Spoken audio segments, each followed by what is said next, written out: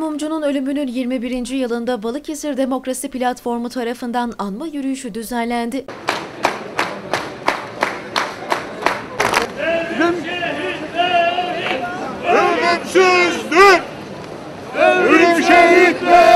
Yürüyüşe siyasi parti temsilcilerinin yanı sıra sivil toplum kuruluşu temsilcileri ve çok sayıda vatandaş katıldı.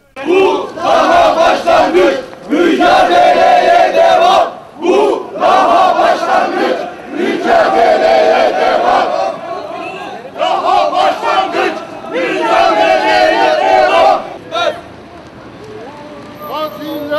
Halka hesap!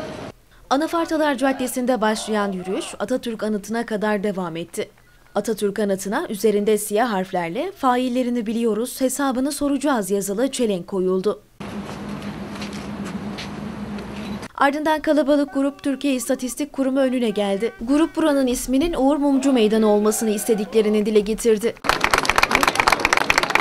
Uğur Mumcu yanma yürüyüşü katılanların ellerindeki karanfilleri havaya atmasıyla sona erdi.